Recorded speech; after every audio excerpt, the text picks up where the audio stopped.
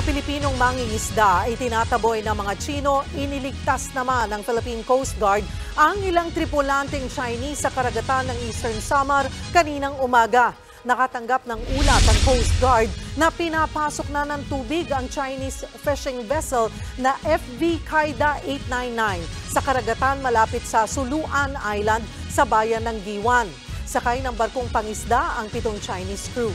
Agad ipinadala ng PCG ang BRP Cabra para hatakin ang naturang Chinese vessel papunta sa pier ng Tacloban.